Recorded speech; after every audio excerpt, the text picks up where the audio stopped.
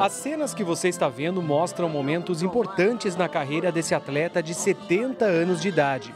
Foi em novembro do ano passado que Gabriel Garcia, de Imbituba, no sul do estado, conquistou o tricampeonato mundial Master de Atletismo na Austrália. Uma prova de 42 quilômetros para atletas que têm entre 70 e 74 anos de idade. Gabriel já havia subido no pódio outras duas vezes, nos Estados Unidos e no Brasil. Grande Gabriel! As vitórias dele não são por acaso. Disciplina e foco ele tem de sobra e não é de hoje. A corrida entrou quando eu estava no Exército, no Rio de Janeiro, servindo o Exército. Né? Eu fui descoberto pelo tenente. Eu jogava futebol e parei com futebol. Ele achou que eu tinha talento também para a corrida, para as maratonas. E eu disputei as Olimpíadas e consegui algumas medalhas naquela época, em 1965, no tempo do Quixute, né, no tempo da Conga ainda. Né? Os treinos são orientados pelo técnico Paulo Ricardo de Florianópolis, com quem Gabriel já tem uma história de amizade há muitos anos.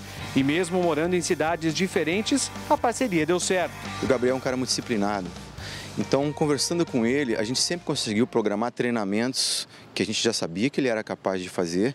E ele sempre mantinha contato comigo telefone para dizer: esse treino cumpri, esse não deu, esse foi muito bem, qual é o treinamento que eu posso fazer, de repente, se esse eu não conseguir completar. Então, esse, é, é, esse, essa palavra que a gente tem pessoal, esse contato que a gente tem, mesmo via telefônico, como ele é um, um atleta, um vovô atleta, hoje em dia muito disciplinado, as coisas vão fluindo, vão acontecendo naturalmente. O título conquistado por Gabriel é inédito, tanto para Santa Catarina quanto para o Brasil. Orgulho do resultado, dá para ver que ele tem de sobra. As medalhas no peito mostram isso muito bem.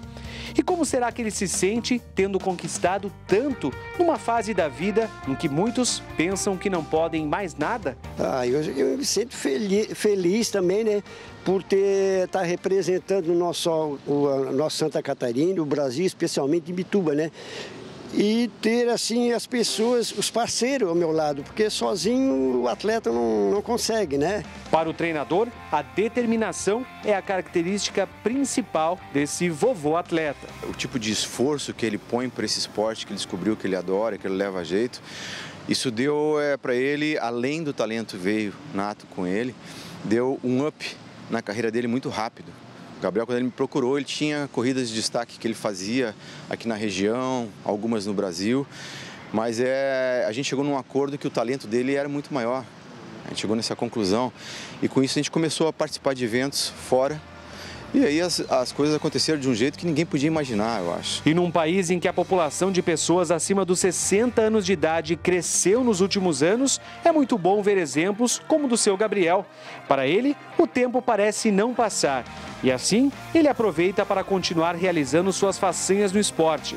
Mas se você ainda acha que a idade impede alguma coisa, ele tem um recado tem que fazer uma atividade física. Por isso que o São Gabriel alcançou esse objetivo, né? De ser um atleta. Eu também no início achava, ah, não vai dar. Eu corria 5 quilômetros, ah, não sei se vai dar para correr uma maratona. Mas fui indo, fui persistindo e cheguei lá, né? E hoje eu estou aí, né?